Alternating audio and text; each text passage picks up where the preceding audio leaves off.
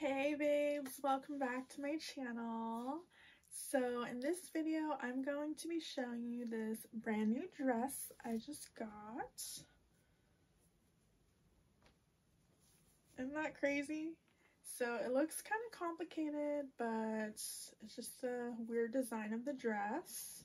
It's from Shein, and it's basically, could almost be a two-piece, but it's actually connected by this one little strand.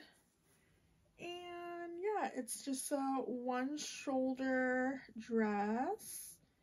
And it has a connecting skirt part.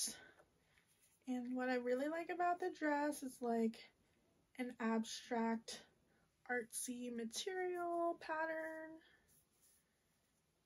And it's also tight, form fitting. So let's try it on and see how it looks.